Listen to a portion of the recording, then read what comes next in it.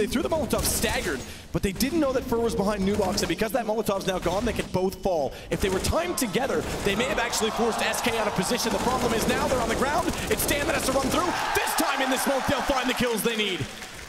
Still, though, a three versus three with no bomb down. And Cold's already approaching toward the bottom side of Banana with both other players rotating from ruins. And with vision of the site, JD